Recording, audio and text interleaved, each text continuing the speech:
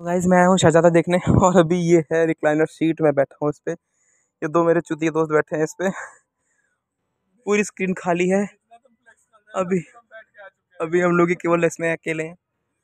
तो मैंने बुक किया था रिक्लाइनर ये काफ़ी अच्छा है। ये देखिए, अरे वाह, इतनी कंफर्टेबल है।